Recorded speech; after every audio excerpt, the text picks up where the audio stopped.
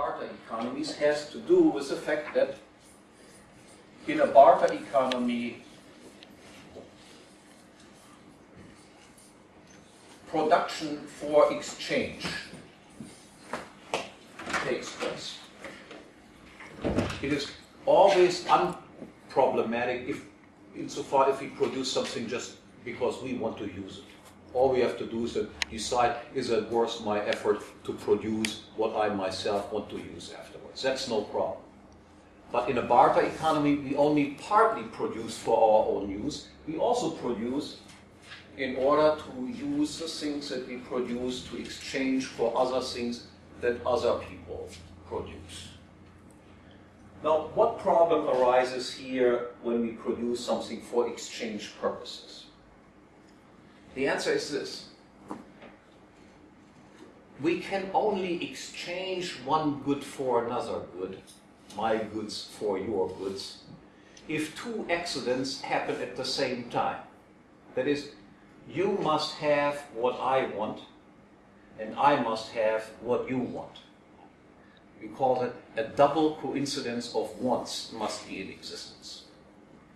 If you have what I want, but I don't have what you want, then obviously we cannot trade.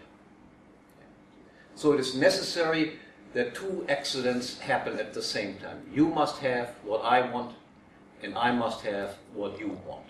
Then people who have produced for exchange purposes can directly exchange their goods.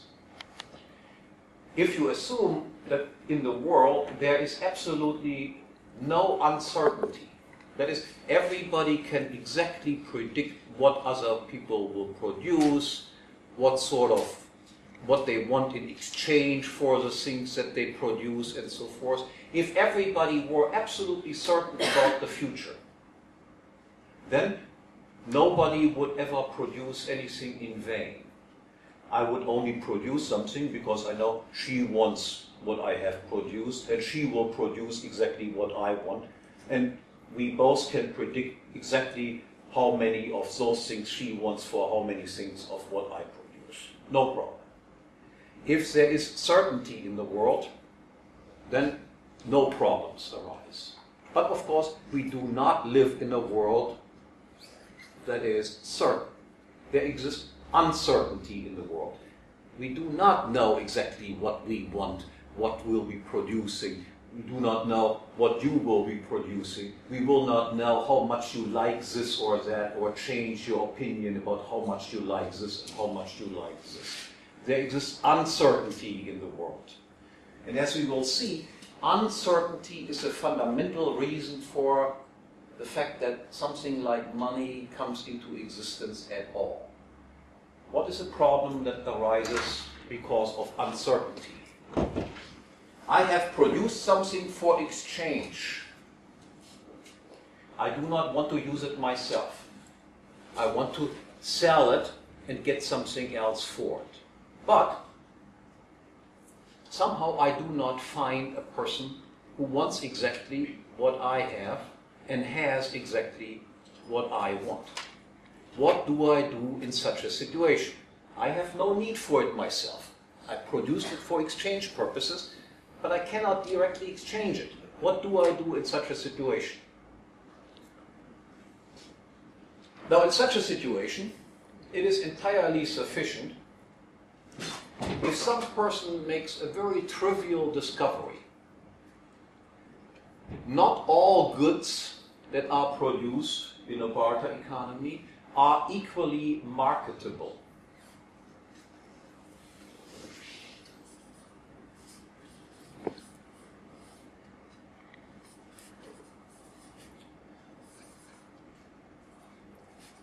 The marketability of goods is nothing else but the fact that some goods are frequently sold and exchanged in markets. Lots of people want these goods. And other goods are less frequently traded in markets. Um, let's say apple, lots of people want apples. So apples would be a highly marketable good. Very few people want fish fish would then be a less marketable good. So the various goods that are traded have different degrees of marketability. Some of them, lots of people want them at lots of times, and others, a few people want them uh, occasionally. So what a person has to do first is nothing else but make this very simple discovery. Let's say one bright person discovers not all goods are equally marketable. Some are more marketable and others are less marketable. Then he discovers I cannot trade directly what I want to trade for things that somebody else has produced because the double coincidence of wants is absent. Is absent. Um, give you an example. Let's say I have produced apples and I want for my apples I want eggs. Uh, but the egg producer does not want apples, uh, he wants pears. In that case, obviously, I cannot directly trade with the apple person. Um, but what I can do is this I can try to find someone who is willing to take my apples if he has something that is even more marketable than my own apples. I'll make it clearer. Let's say I'm the fish seller, and I, as I said, fish is not that marketable. Um, and I have difficulties getting what I want for my fish. So now all I have to do is I have to find someone who wants fish. And he has something to sell that I do not personally want, but this good that he sells for the fish is more marketable than the fish itself. So let's say I hate apples, but I want to get rid of fish. There is the apple seller who is willing to buy the fish from me. I do not buy the apples because I like apples. As a matter of fact, I have an allergy against apples. What is the reason why I trade with this guy? The reason is apples are more marketable than fish. And what is the advantage that I gain, even if I personally hate apples, by trading my fish for his apples, is, of course, that the higher degree of marketability of apples now allows me to take these apples and exchange the apples for those things that I really want. Let's say my ultimate goal is I want eggs. It is easier to use apples as a highly marketable good to get eggs than it is to use fish to get eggs. A more marketable good can be used more easily to get those things that I ultimately want. What happens now to the degree of marketability of apples? Again, recall, initially we assumed that apples were a highly marketable good. That's why I demanded them, even though I personally did not like apples, did not want to consume them at all. I neither wanted to use them as a consumer good, nor did I want to use them as a producer good. I only took the apples because I expected I can turn around easily and sell my apples for whatever I want. What happens to the degree of marketability of apples once one person does this? The answer is the degree of marketability of apples increases even further. All people who like apples still like apples. That made them marketable in the first place. Plus, there's one guy, myself, who demanded apples for a different purpose, different purpose, not to be used as a producer good, not to be used as a consumer good, but to be used as a medium of exchange, something that facilitates future exchange. Um, so obviously, then the degree of marketability of apples becomes even higher. Now, what happens next is that other people make the same type of observation, and they don't even have to be as bright anymore as the first person had to be. Because now it becomes easier for them to make the same observation. They cannot exchange directly, they have produced something for exchange purpose, are stuck. What do they do? Now they all they do is that all I have to do is to get rid of whatever I want to get rid of and acquire something for it that has a higher degree of marketability than the thing that I give away. And if possible, of course, acquire something that has the highest degree of marketability. And then you have, over sooner or later, you have a convergence. That is, all people begin, once they are in the situation where they cannot exchange directly, begin to demand goods to be used for the purpose of a medium of exchange, to be used for the purpose of reselling them in order to get what we really want. And then once people begin to imitate this practice, then we have very quickly what is called a common medium of exchange. All people more or less begin to use the same type of good for the same type of purpose Namely, this is the medium that makes acquiring whatever I want to acquire as easy as possible because it has the highest degree of marketability. And then we speak of this particular good as a money. Money is the most easily saleable of all commodities. If you look if whatever you have among your goods that you own, and you try to sell whatever your coat or your pen, uh, or your glasses or your jewelry, you might find some people who are willing to uh, to trade this stuff. But what is the good for which you find the widest acceptance, which is the most easily saleable of all commodities? And the answer, that's money. Money is always easy to sell, so to speak. Uh, all other things are far more difficult to sell. Once we have a common medium of exchange in existence, then this problem that existed in barter, that we sometimes cannot really get what we want immediately disappears.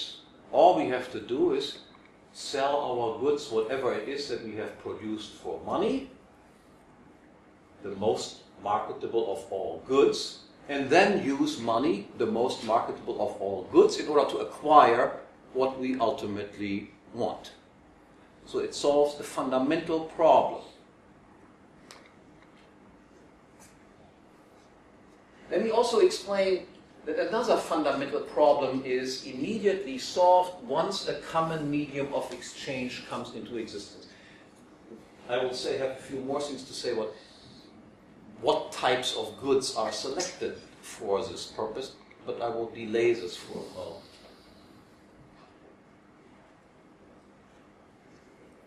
If we produce something for exchange, and not because we want to use what we produce for ourselves. Then the problem arises that, of course, we do not want to waste resources. I don't want to just spend a huge amount of producing something and then get very little for what I have produced.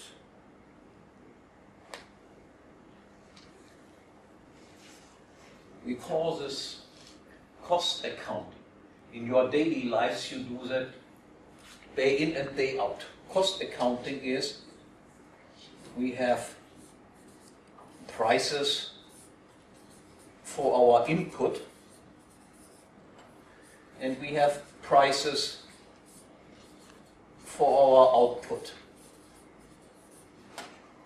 I produce something in order to produce it, I need certain things that go into whatever I produce, raw materials, whatever is land, labor, and so forth. And for this, for this input, we have prices. And then we produce something out of this input, and this output is also sold for money, also in terms of prices. And what do we want to achieve is obvious. We want to make sure that breaking this in dollars, let's say, that if the prices for the input were ten dollars,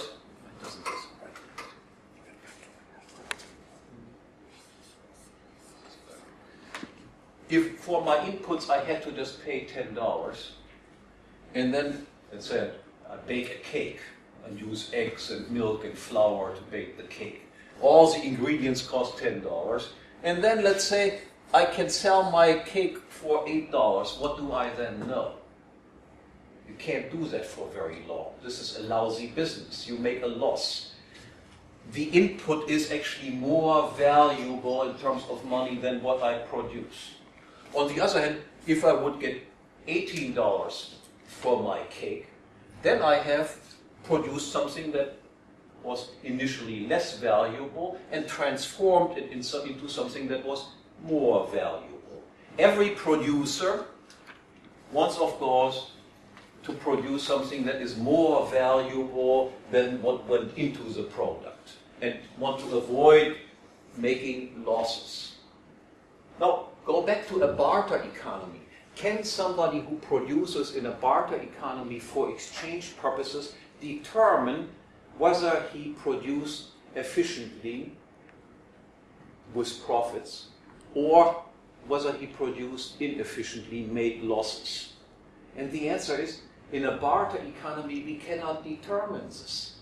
Why can't we determine it in a barter economy? Because we have incommensurable units. Look, you cannot add eggs and flour and milk and butter and labor and then say if we combine these things and produce a cake out of it, the cake is more valuable than the eggs, the flour, the butter, and the labor. Why can't we say that? The answer is there are no units we can, you cannot compare apples and oranges and eggs and shoes and whatever it is. They have no common denominator. What makes it possible that we can say that the eggs, the flour, the butter, and so forth were less valuable than the cake that resulted from combining these things is because we can reckon all of these items in terms of something else we have a common denominator for all of them. The eggs can be expressed in terms of money because they are bought and sold against money. The butter can be reckoned in terms of money. The flour can be reckoned in terms of money. And because of this, we can add these items together. And then everything is sold. And this is again done against money. And because of that, we can only perform this operation that seems to be very elementary, very primitive, but absolutely essential for everyone who produces for other people. Only because we have a common denominator and because we have a common medium of exchange, everything is sold and bought against money. Only because of that can we determine did we produce efficiently or did we not produce efficiently. Without money, in a barter economy, no rational economic calculation is possible.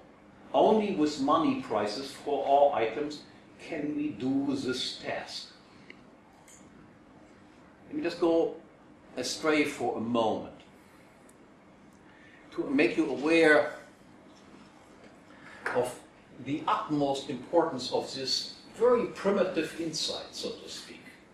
That is, we do need money in order to perform money for input prices and for output, for our output, in order to engage in the economic calculation. One of the most important discoveries in the 20th century was by economist Ludwig von Mises, who analyzed what various socialists had made in terms of proposals, how the world should be organized, how socialism should work. And Mises discovered that somehow these people had all fantasies about how socialism worked and made them aware of a very simple problem. He pointed out look, under socialism, you cannot engage in economic calculation. And what he meant was socialism in this regard has the same problem that we have in a barter economy, and that can only be solved if money exists. What was his argument? What he pointed out is this under socialism, all factors of production, land, factories, machinery, and so forth, are allegedly owned by the state. There's no private ownership of factors of production. Now, if there is no private ownership of factors of production, then what cannot possibly come into existence? Land is then not sold and bought in markets because how can one entity sell or buy something to itself? There's no stock market under socialism because all factories and so forth are owned by the state, by this one entity. There are no real estate prices. So, what is then the problem under socialism? Under socialism, even if we assume that you have prices for all the consumer goods that are sold and bought in the market, what is lacking under socialism is prices for the input factors. There are no prices for land. There are no prices for factories. Uh, there are no prices for houses, uh, for office buildings. Nothing. There are no prices such as this. What can we then not determine under socialism? Whether we produce efficiently, that is, whether we turn something that was less valuable into something that is more valuable, which is the purpose of all production, or we turn something that was more valuable into something that was less valuable, which we want to avoid under all circumstances. So the primitive insight that I just explained to you has tremendously important applications. The application is that socialism, calculation, economic calculation under socialism is impossible. Socialism, because of this, is an utterly chaotic system. It is not more planned economy, it is completely unplanned. It's just chaos. You need in order to do this, money prices for input factors, real estate prices, stock market prices, uh, prices for machinery and all the rest of it, in order to determine whether you produce efficiently or not.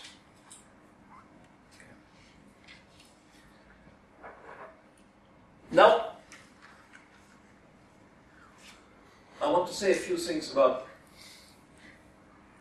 the nature of, of money and what sort of commodities are selected as money. The first and most fundamental insight about money, the thing that almost, even almost all monetary economists get wrong, but you have to understand it, it's very easy to understand once you have understood that basic insight, you're already far advanced over most of these TV commentators and smart professors that talk about monetary affairs. It's the following insight.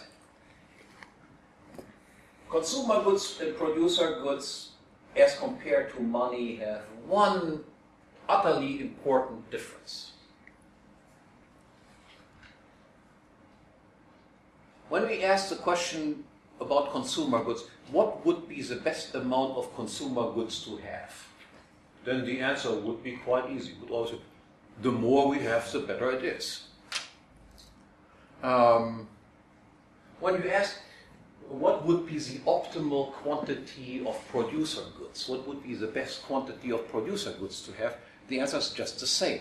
Because producer goods, after all, are useful in order to produce consumer. The more producer goods we have, the better we are off. Now the question, is that also true for money? Is that also true for the common medium of exchange? And the answer is decisively no. Why is that no? Again, recall what money does. Money is not used as a consumer good. We do not eat it. it does not give us satisfaction in the way as a sandwich gives us satisfaction. It is also not used as a producer good. We do not produce anything out of money. The sole purpose, the sole function of money is it is the most easily saleable commodity. It facilitates exchange. It's not a producer good, it is not a consumer good. Now, in order to explain why we cannot say the more money we have, the better off we are, in the same way as we can say that about consumer goods and producer goods, is to just engage in a little thought experiment. So let's say the angel Gabriel comes down to earth and he has never taken an economics class. And he wants to do something good for mankind and says, you know what I will do is just I simply double the amount of money in existence overnight. but I will do absolutely nothing to consumer goods and producer goods. So you wake up in the morning and you find that in your bank account you have $2,000 instead of $1,000, in your wallet you have $100 instead of $50 and so forth. Uh, but the quantity of consumer goods that you own and the quantity of producer goods you own is just the same as before. So then the question is are you richer? Or is the society as a whole richer as a result of this? And what is the answer? The answer is, of course, not one bit. What happens now? Again, recall what money does. Money purchases these consumer goods and producer goods. So if we have twice as much money, but the consumer goods and producer goods quantities are just the same, what will then happen? The prices, the prices of consumer goods and producer goods will roughly double. I'll come back to why I only say roughly. Um, are we richer as a result of this? The answer is, of course, not at all, not one whit. Um, if the angel Gabriel had done exactly the opposite, he had cut our money in half, but again, had done nothing to consumer goods and producer goods. Would we then be poorer? And the answer is no. Then the prices will fall roughly in half for consumer goods and producer goods, and we are just as rich as we were the day before. So, this is the basic insight why, as far as money is concerned, we have to say any quantity of money is as good as any other quantity of money. By increasing the quantity of money, you cannot make a society rich. By the quantity of money falling, societies will not become poor. It is the quantity of consumer goods and producer goods in existence that determines, so to speak, how wealthy or how poor a society is, not the quantity of money. Again, let me just jump ahead a little bit in my presentation and assume for a second, which I have not explained yet, that we have paper money. As you will see later on, paper money is a very miraculous type of invention that cannot come into existence just by accident. But as you know, we have nowadays paper money. Originally, we have gold and silver being used as money, uh, but no paper. If it were true that you could make a society richer by increasing the quantity of money under the current system where you can create money out of thin air, just all you have to do is turn on the printing presses. Uh, how could you then explain that there is any poor country or any poor person in the world? After all, I can dump millions and millions of dollars on top of you, or paper dollars. Why is China poor? Cannot be because the Chinese do not know how to print yuan. That is easy as pie. But if they would do it, would the Chinese be all of a sudden rich? And the answer is no, of course not. You can print any of your, what is your currency called? Huh? Liters. Liters. Uh, I, mean, I can help you if you don't know how to do it. I mean, you would have to spell the name right, and then I will print it. Um, and heap any amount of money on top of you, but you would not have one additional consumer good and one additional producer good. You would be just as rich or just as poor as you currently are. Nonetheless, again, jumping far ahead of things that I still want to do in other lectures, you all realize what is the solution that the establishment has to a financial crisis. That something things don't work right. We have to increase credit. We have to increase the supply of money. That is just a childish, idiotic idea to do something like this. Very important increases in money have absolutely no effect on wealth that exists in societies. However, I have to make two amendments in order to make sure that you don't misunderstand what I'm saying. This does not change what I've just said, but clarify certain points. If, as in the old days, we have a commodity money. That is not a pure paper money, but something that is a real commodity, such as gold and silver. If we have an increase in gold and silver, then commodity monies can also be used for non monetary purposes.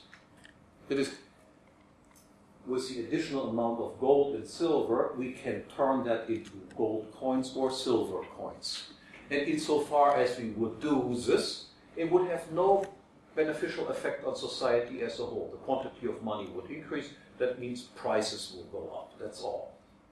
But we can also use these additional quantities of gold or silver to do something else. We do not have to use them for monetary purposes we can also use the gold to fill teeth. We can use the additional gold to make additional earrings and so forth. Insofar as we turn these additional quantities of the money commodity into non monetary uses, society benefits. More gold means more teeth can be filled, more jewelry can be uh, produced, and so forth. Currently, you realize, of course, there is no other purpose of paper money except the monetary purpose. Maybe you can wallpaper your wall with it or something like this. So then you could say, okay, I have one additional wall that I could wallpaper because I put all the dollar notes against the wall. Um, so under the gold standard or under the silver standard, additions to silver and gold can have positive effects. Additions to paper money can have no positive effect whatsoever. Now, the Second Amendment. Now, if you realize that increasing the money supply cannot make society as a whole richer, why is it done nonetheless?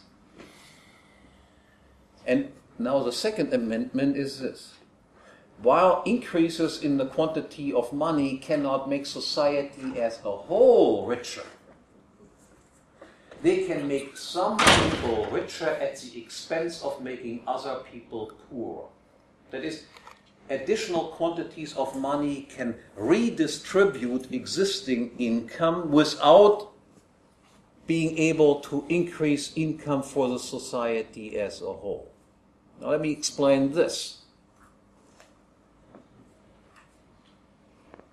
So imagine the angel Gabriel has done what I described before. He has just increased, uh, doubled the money supply overnight. And now imagine that, uh, that two individuals discover this wonderful, great, I'm far richer than I was the day before, but they react differently. The one person immediately runs out and spends all of his additional money that he has on various items and the other person, let's say, decides, okay, I'll wait for a week, think carefully what I do with all this additional money, and then after a week I will spend my money. Now, what happens if the person runs out and spends his money immediately to prices? No. Some prices of some goods will immediately begin to rise. Those goods on which he spends his additional money. So let's say I'm a Coca-Cola freak, and all my money, additional money, I spend now on Coca-Cola. What happens then to Coca-Cola prices? Coca-Cola prices will already rise. The other person waits for a week and then realizes, oh, I'm a Coca-Cola freak also, um, and goes out into the market and spends his money also on Coca-Cola. What will he find? Coca-Cola prices are already higher than they were a week before due to the fact that somebody already spent it earlier than he spent. So who is now better off and who is worse off? The person who spent the money first is better off because he bought at the originally low prices and now as a result of his behavior prices went up.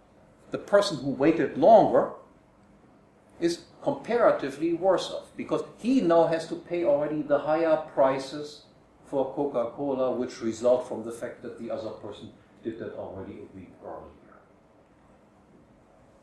Now, now make this a little bit more realistic in order to see what is really going on whenever we have what we call inflation. The quantity of money is increased and who benefits from it. Currently, under a pure paper money standard, and I have still not explained how we get there. Cur- currently, under a pure paper money standard, who gets the additional quantities of money always first? Look, when the money supply is increased, it, it, doesn't shower on all of us at the same time. There's not hundred dollar notes fall down on your head and hundred dollar notes fall down on my head and on your head all at the same time. Who produces money? Who is the only institution that produces money? Central bank. The central banks. So where does the new money always come into existence? At the hand of the central bank first. Who gets these additional amounts of money then set after the central bank? Govern- government. These are government or the major commercial banks. And who gets this then? From the major commercial bank, the major clients of the major commercial banks. And who gets it typically very late or not at all? Ordinary people. Nor- normal people. So, what is the consequence of this? The consequence of this is the first people who get the new money first and spend it first benefit gain at the expense of impoverishing people who get the money late or not at all. Look, if there is more money brought into existence, does the salary, for instance, of pensioners go up? The answer is no, they get exactly the same. But what is the consequence of more money being brought into existence? Is prices for various goods are all higher. So his real income has fallen. You might get still thousand dollars a month, but you can buy less for thousand dollars a month than you could buy before. So here we have the explanation. Why is it, despite the fact that increases in the quantity of money cannot possibly make society as a whole richer, why is it that we continuously have this phenomenon? And the answer is some people enrich themselves at the expense of others by doing it. So we can easily discover the motive for inflation. The inflation, inflationary motive is that's the possibility of ripping off other people, making me richer and making other people poor.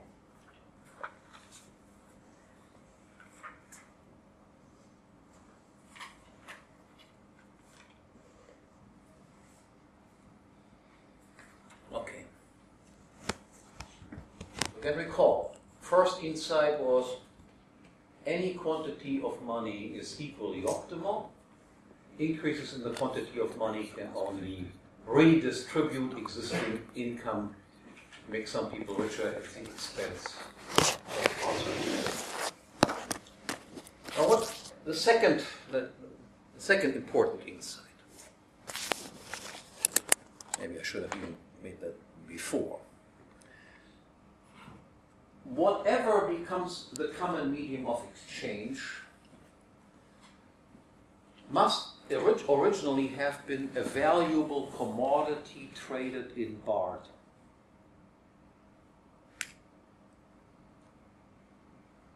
It must have been originally a valuable consumer good or producer good and is then selected among all the consumer goods and producer goods for this particular purpose. Why is that? Now imagine, for instance, I would, I had produced something and uh, uh, wanted to get something from you. You are not, um, you are not interested in the products that I produced, or I'm not interested in the products that you produced. Um, and I came up with the following idea. I would say, look, I, I really want your I really want your apples, but I have only pears to offer, and you obviously don't like pears. But instead, I'll offer you a piece of paper, and I write hundred dollars on it. So I tear that off. Here you have my uh, hundred dollar note, and why don't you give me your apples? What would you then say? You would say you must be crazy. This is a worthless piece of paper, and I, after all, have a valuable good to offer. Um, and even if I would decrease my offer, okay, I'm generous today, I make it a thousand dollars that I offer you. It would make no difference whatsoever. That is, what you immediately see is the thing that we all use as money could never come into existence just like this somehow obviously it came into existence. We have to explain why it came into existence, how it could come into existence. But it can never be at the beginning of the development of money that some people just take a worthless piece of paper and offer that in exchange. You would be you would be considered to be crazy if you would, would try to do something like this. So instead, everything that is chosen as a common medium of exchange must have been initially what we call a commodity money.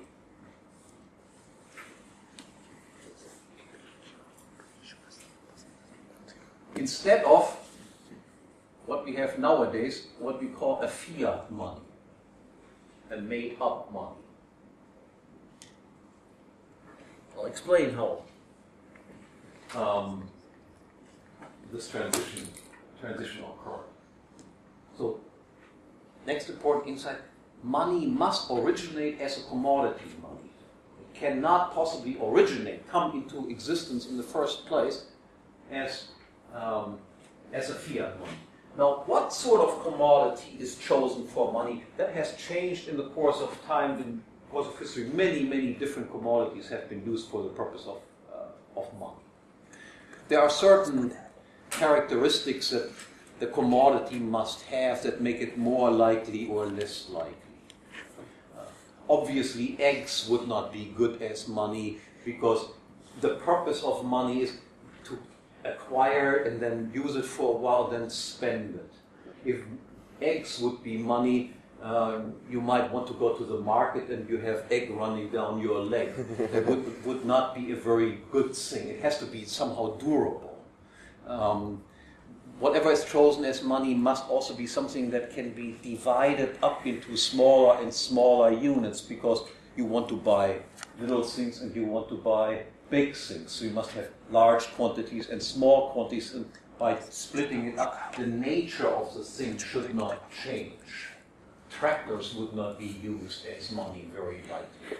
Uh, because you cannot chop up a tractor and then sell the steering wheel and then the tires and then the motor and all of this.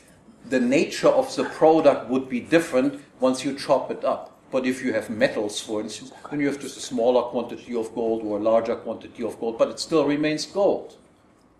Um, so it has to be durable, it has to be divisible, it has to be portable. It must be easy to transport the stuff.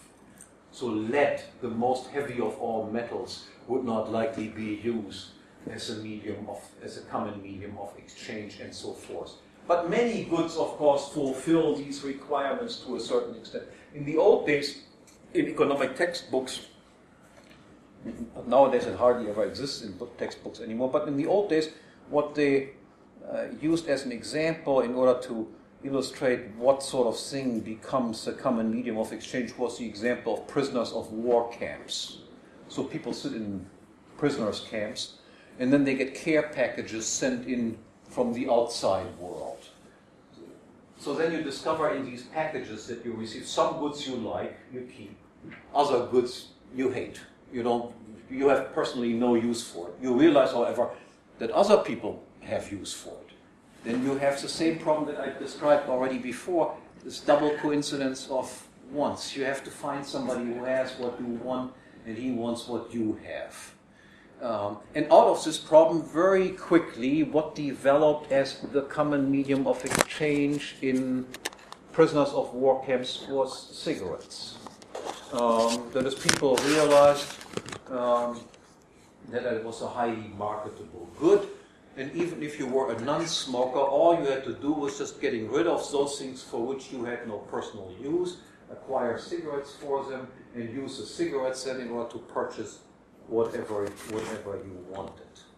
Uh, I don't think it would work anymore nowadays because uh, most people don't even consider cigarettes any good anymore. They might immediately throw it out.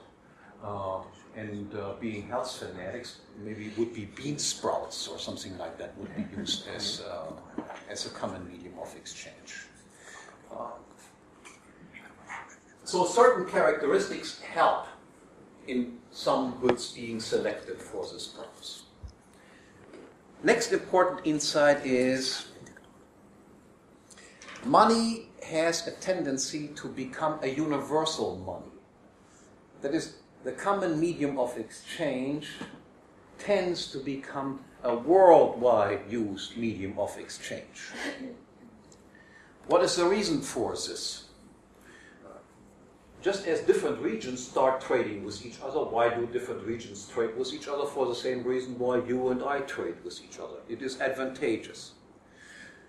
So if in one region they use money A and in another region they use money B, trading is not as easy as it could be. Because in order to buy something in a region that uses a different money from my own, I would first have to exchange my money for somebody else's money and then use this money in order to buy something that I want to buy. We are still in a system of partial barter. We cannot trade immediately, but a double coincidence is still necessary. I must have the money that you want, and you must have the money that I want, and then we can trade. So there is a tendency in the market to facilitate exchange on a worldwide level. And we can see what the ultimate solution to this problem is. The entire world uses exactly the same type of commodity as a medium of exchange. That makes exchange then as easy as it can possibly be. And in fact, this is, of course, what has by and large happened in history. Out of initially all sorts of different commodity monies being used in different regions, as these different regions began to trade with each other, a tendency emerged of one type of money being outcompeted by another one, and at the end, only two types of money remained in existence silver and gold, being used on a worldwide scale. Inside, money must begin as a commodity. Money has a tendency of becoming an international commodity money.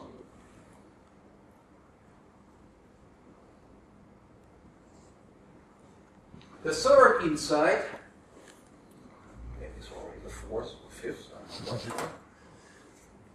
is not an economic law, but an economic regularity. If we have a commodity money such as gold or silver, then the tendency was, historically speaking, that the purchasing power of money increased over time. That is, you could buy more for a unit of money. You realize that this is different today. Uh, you know exactly that next year you can buy less for a unit of money, and in two years even less, and in three years even less than that. What was the reason for the fact that under the gold standard, for instance, prices generally tended to fall? The reason was this. In modern economies, for several hundred years now, the tendency is for, let's say, this rectangle indicates here the quantity of producer and pro consumer goods in existence. So that every year, the size of this rectangle becomes a little bit bigger. The quantity of consumer goods and producer, producer goods increases over time. And these are millions and millions of different goods. On the other hand, let's say this rectangle here indicates the quantity of gold that is used for monetary purposes. You realize that this is used to buy this stuff up. It determines the prices reckoned in terms of uh, in terms of money. And here we had, as a historical accident, the fact that the quantity of gold in existence, mined and minted, increased teeny amounts from year to year, by very small amounts. This is still true today. Um, so if this rectangle increases quite a bit, again recall these are millions and millions of different goods, this increases just a little bit over time, what we, would we then expect to be the case in terms of prices of this expressed in this? That the level of prices tends to fall in the course of time. Things get cheaper and cheaper. We know that next year milk will be 95 cents instead of a dollar. In, in, two years from now, it will be 93 cents, 92 cents, and so forth. During the second half of the 19th century, roughly speaking, that was a general tendency in almost all developed economies, that prices from year to year fell. Realize it had also an advantage in terms of no wage negotiations had to be done. People noticed by the nominal payment that they receive staying the same, the purchasing power of what they could buy for their salary increased from year to year automatically.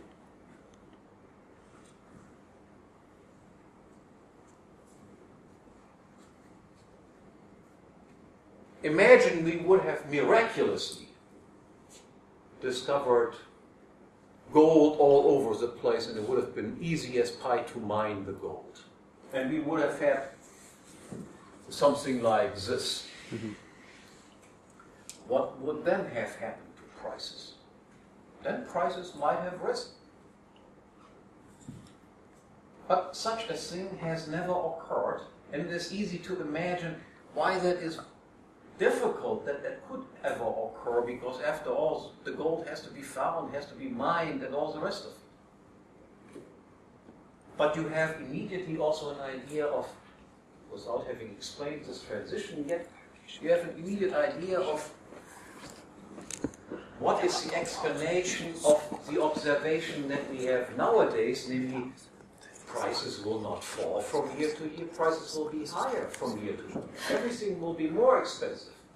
The milk will be a dollar now, a dollar five, next year a dollar ten, two years from now a dollar fifteen, then and so forth and so forth.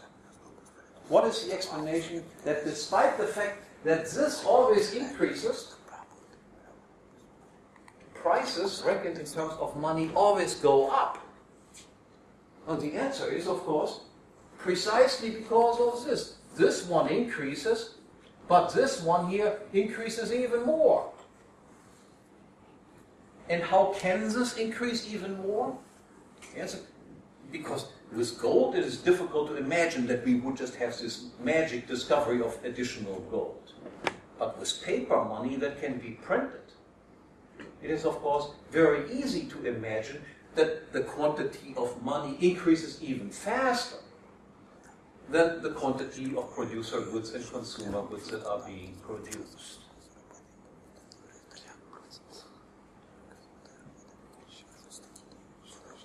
Before I come to an explanation of the transition from commodity money to fiat money, a few little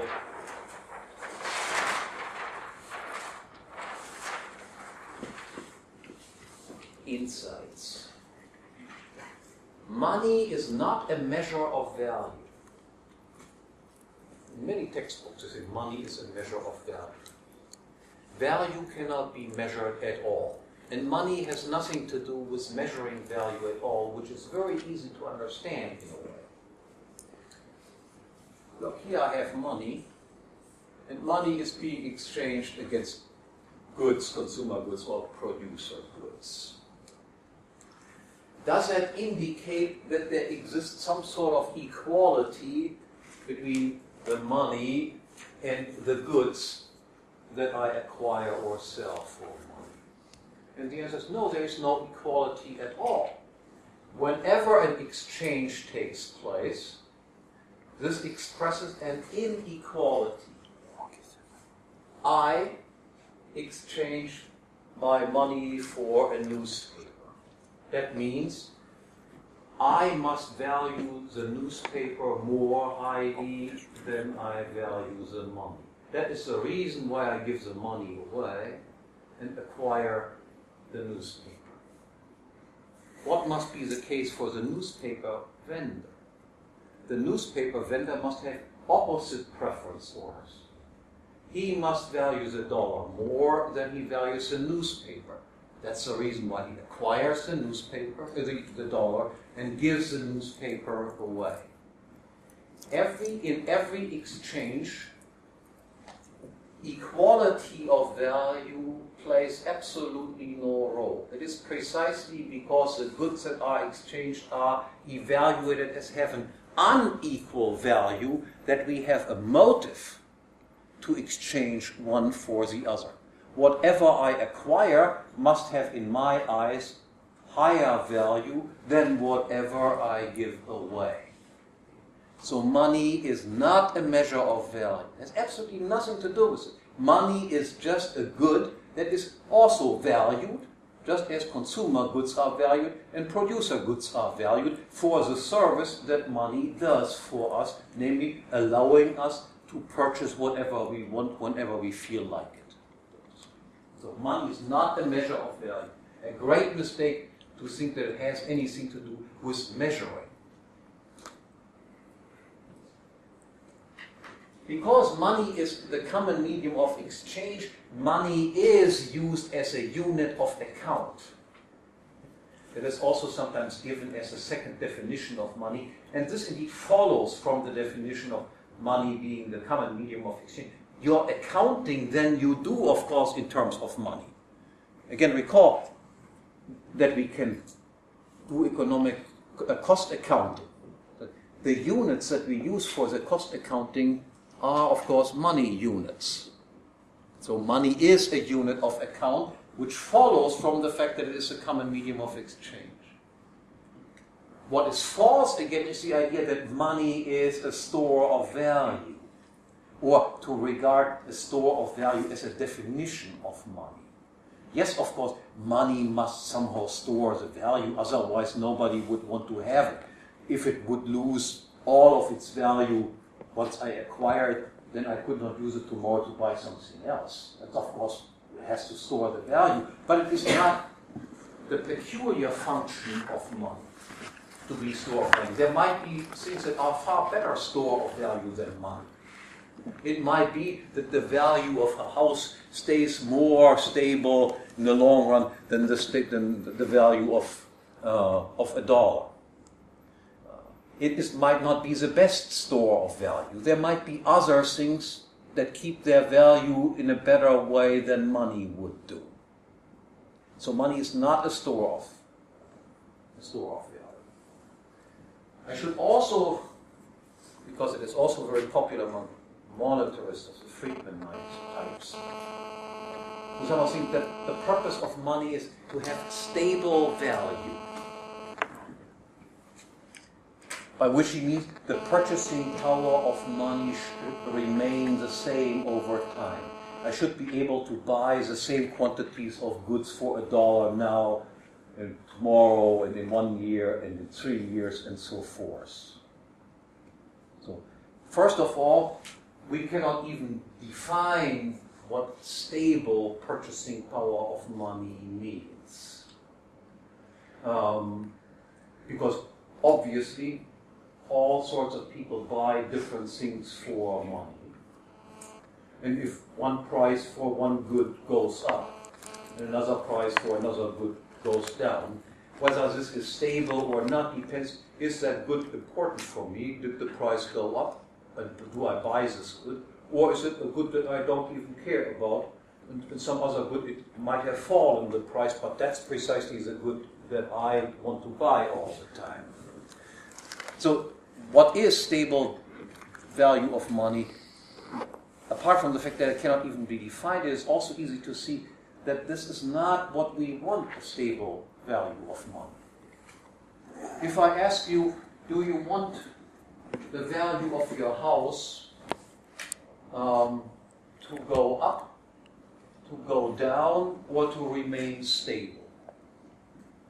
What is your answer? To go up. To, to go up. I, bought it for thousand dollars, for hundred thousand dollars, can go can fall to ninety, it can remain at hundred thousand, and it can also go up to hundred and ten. So the Friedmanites would then say, somehow there's a particular virtue in the fact that the house price remains at hundred thousand. But every normal person would say, hey, if I get 110,000, that sounds even better. So for money, of course, the same holds true also. It might be that you can buy less for a unit of money. It might be that you can buy the same for a unit of money. And it can be that you can buy more for a unit of money. Which one of these three alternatives would you prefer? That you can buy more for it. Okay. So the idea that we have to stabilize the value of money is again an idiotic notion. No, no purpose to it. If all prices, and another important side point if all prices fall in the economy, as I explained, it was the case under commodity money standard, does that mean that businessmen can no longer make profits? Well, the answer no, it has nothing to do with it. Look, profit is the difference between input prices and output prices. The difference. But if all prices fall, then input prices fall and output prices fall, and the difference is what is of importance for the businessman. There are even now sectors in the economy where prices continuously fall. Where is that the case? For all, you know, if you buy a computer one year from now, it will be cheaper than it is today. If you wait five years, you can almost bet your life on the fact that the computer will be still cheaper. Is the computer industry or TV industry or electronics industry, is that an industry that is in particularly bad shape? And the answer is not that I know of. What has happened in these industries is, of course, yes, their output prices. The price for the computer went down, but what also happened was all the ingredients that went into the computer also fell. And the businessmen being interested in this difference is not affected by that at all. So a falling level of prices does not mean there's a crisis. People can also make profits if the level of prices is falling. Okay, now very quickly at least, I want to indicate the transition to a fiat money. As I said, it must begin with commodity money. How do we have fiat money in existence? we have we would expect that money would be an international commodity money. How come that what we have instead is national paper currencies? And instead of a money that is deflationary where the purchasing power of which increases over time, we have a money that is inflationary, the purchasing power of money decreases over time. How does that happen? And the answer is this is the result of deliberate interference of governments or states with money.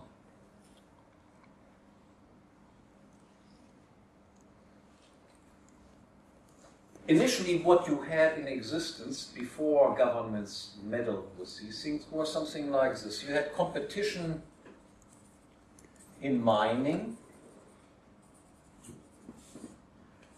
you had competition in minting. Because you had different producers who were mining the commodity, the money commodity. You had different producers who then transformed them into standardized sizes, that is engaged in minting.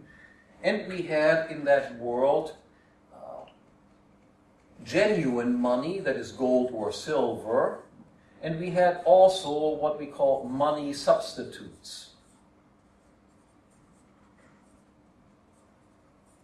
Now, what are money substitutes? Money substitutes are tickets, titles to money, which are accepted as if they were money.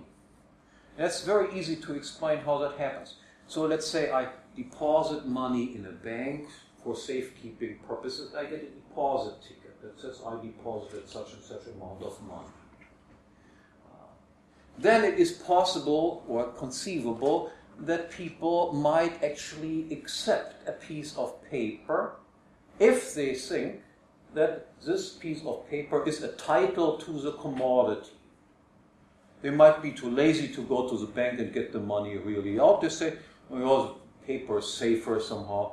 Um, so I'll simply pay you by paper instead of paying you in gold coins, and you are willing to accept the paper because you know this is a perfectly safe title. All I have to do is just go to the bank and then I get the get the gold. But I leave the gold in in the bank right now and simply keep keep the title. This, by the way, is the only way in which people might ever be willing to accept a piece of paper because the piece of paper is not a piece of paper. Uh, it is a title to a commodity, and the title can be redeemed into the real thing at any time that I want. So money exists. People pay in gold and silver. But also money substitutes exist, that is, titles to gold and silver, and they are also circulating, that people accept them also. What has happened is this. The first step was you have to eliminate competition in minting. Government monopolized the minting of the coins. I said, oh, you can only trust me that the weight and the fineness of the silver or gold is certified correct. As you all know, businessmen only want to defraud people. They are criminals, all, so to speak. Um, but governments, of course, can be trusted. Again, recall what and to see how ridiculous this argument is. What is, imagine there's competition in the field of mining gold and uh, of minting gold into gold coins, and somebody would misspecify what the amount of gold or the fineness of gold is. What would the implication be? So I produce gold coins, you produce gold coins. But I lie about the content of how much it is and how fine it is. What would you do if you find out that I lied about my gold coins? No. So you would make an advertising campaign. They can't trust this Hoppe guy. He'll writes all sort of nonsense on the coins. But here I am, I have, of course, certified correctly. And what would happen to me? I would go out of business. What makes a competition in all areas does this sort of thing? It does not prevent that fraud does not occur at all. But the fact that you have people who compete against you is one powerful reason why you don't defraud people, why you don't cheat people. Because it is, would be an open invitation for your competitors to just point out, look at this guy. He tells you that he uh, sells tuna fish and instead there's cat food in, uh, in the cans. Um, I would be finished. But now imagine that you are the only producer of minted coins. The government is the only one that does it. Does it become more likely or less likely that fraud will be committed? And the answer, of course, becomes more likely. Because other people are simply no longer permitted to point out, look, they are defrauding you. What governments did initially, when money was still a commodity, money was engaging in coin clipping. They simply reduced the content of the gold. One king dies, the next king comes to power. He says, The other guy looked ugly, but I'm very pretty. I want to put the new face on there. Hand me all over the, your coins. I will melt them down. I will remint them with my beautiful face on it. And then I'll give you the exact same quantity of coins back that you gave initially. Except, of course, that each coin has 10% less gold in it than before. And who gets the 10% additional gold? The king himself or the government himself. Um, then the quantity of money has increased by 10%. 10% more coins now in existence. Who benefits from it? The person who gets the new money first, who has extracted the gold content, reduced it. You cannot do that very often. People are stupid by and large, but they are not stupid all the time. Um, you find, eventually, you find out that this has happened. You cannot repeat this over and over again without people becoming aware of it. So, what must you do next? The next you must do is you monopolize the issue of money substitutes. Before, if I was a banker, I could issue my tickets, the Hoppe tickets that certified that I had the gold in the vault, and those people who had the title could come to me and get the gold out. He had whatever his Jones Jones Bank and has Jones tickets. Um, and so we have lots of people issuing these money substitutes. And each one thinks you can just present your substitutes and go to the banker who issues these substitutes and get the real thing. Now you realize, of course, that, and this is something that all bankers are tempted to do, uh, because not all ticket holders come at the same time and want to redeem their tickets into the real thing. What could be the temptation for a banker? Uh, temptation could be, for instance, to print up additional tickets that look exactly like the other tickets, except there is no gold or no silver in the vault. And he can loan them out and collect interest on that. So there is a temptation of fraud for bankers. What would happen, by the way, if you print up additional titles that look exactly like the other ones? And then all people would come and want to redeem their titles into the real thing. What would then occur? The bank would A bank, a bank run, and could the bank withstand the bank run? The answer, no. The bank would then be bankrupt. That's why you would realize, or um, leading up a little bit to what I want to explain my lecture on Keynes tomorrow. We had bank runs right now, even with paper money in existence. The banks didn't have the damn things. But again, if you have competition in the issue of money substitutes, then it is very difficult to give in to this temptation to engage in fraudulent activities. Why? Because as soon as I discover that in her bank she issued additional tickets, all I have to do is then just announce this. Look, her bank is actually bankrupt. And then you would have a bank run, and the bank run would reveal whether you are bankrupt or not bankrupt. And because everybody realizes that that can happen, they will be very careful not engaging in activities such as this. So now imagine that the government says, no, no, no bank can issue any uh, money substitutes on their own anymore. The only one that can issue money substitutes is me.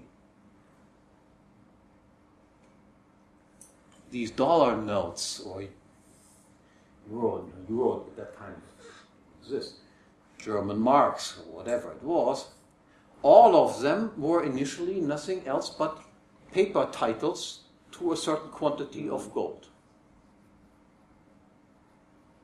Now the government says, I'm only the only one that can print these dollar notes. Nobody else can do it. What will they do? They print additional notes up more easily than if there were competition in this field. Because nobody can point out what they are up to. As a matter of fact, all governments made it then illegal to incite bank runs.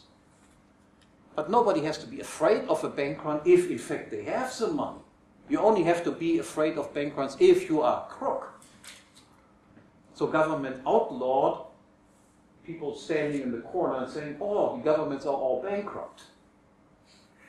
Because they knew that, in fact, they were bankrupt. So then you had bank runs occurring nonetheless. Governments couldn't pay. They didn't have enough gold or silver in order to redeem all the notes. And what did they then do? Then they went off the gold standard or off the silver standard, whatever it was. Then one day they simply said, Look, you guys, keep your paper, and we, the government, keeps the gold that was initially the gold of the public that had been deposited in banks. In the United States, that occurred in 1933, going off the gold standard. up until that point, $35 of these greenbacks of this paper entitled you to one ounce of gold. And then people realized, of course, hey, these guys don't have enough gold in order to redeem all the paper. Bank runs occurred, they couldn't pay. And then, okay, we keep the gold, you can keep, you can keep the paper. So by an outright fraud, commodity monies were subverted and replaced by fiat money. And then this remark. Then we have the following situation. Nowadays, there exists no currency in the world that is redeemable into anything. This is, whenever you turn in your dollar notes or uh, euro notes, all you get is just freshly printed ones. If they are wrinkly, then you turn them in. They, of course, we redeem that. We give you a fresh one. You give me the old one, and I give you a new one. But you don't get anything for it. And now imagine this the following scenario. Imagine I would make you the only producer of euros in Europe. only you can produce euros. Everybody else who produces euros is a counterfeiter, is a criminal. Can't do that. What would then happen? You know you can print euros. Nobody else can print euros. Everybody else trying to go into competition is, is a criminal. What will you then do? And the answer if you are not an angel, then you will likely produce euros. And to produce a one euro note doesn't cost you any less than it uh, to produce a thousand uh, euro note. The printing costs are basically the same. Uh, maybe it's even less because you have more zeros. You can just somehow save on the, on the uh, paint there. Um, so you can print it up, buy yourself a Mercedes. Um, would you do that? Yes, Who wouldn't? Um, and then you discover you had more friends than you ever thought. they all come to you and want your help. Also, a nice, nice, nice new house would be great for me. My girlfriend needs this, my boyfriend needs that, and all that. Can't you help? And they become then your advisors. So all central banks have, of course, thousands of smart people, econ- mostly economists, who just try to just persuade you that what they do is beneficial to you. Um, after all, they realize without this cushy job that they have, they might they might really have to work somewhere. Maybe they have to gas pump operations or something of that nature. Um, and of course, they have to fool you. They have to make you believe that these people do actually something valuable. But as I explained, no increase in the money supply can ever make a society um, better off. And that's what central banks do and do nothing else but increasing the money supply. That's their sole purpose. Governments have two institutions that are of utmost importance for them. Their income comes, on the one hand, from taxes. They don't produce anything and sell in the market. So, taxes. And you need tax collectors. The tax collectors are typically the people, the KGB type looking guys with leather coats and the beat people, pu- push them on the ground and kick their teeth out and things like this. And then, and then you have the fancy division, even far more important, is the counterfeiting division. And the head of the counterfeiting division are people like Greenspan and Bernanke and Trichet and what I don't know what, what your guys uh, is, is called. Um, they run around, of course, in suits um, and are treated with great respect. but nonetheless, this is what they are. They are the heads of the counterfeit division of the government. And without the counterfeit division of the government, the government would be worse than nothing. Okay. So with this, I think uh, I'm very exhausted completely. Um, I'll, I'll stop now. We'll take, take a little break and we'll go. go from there.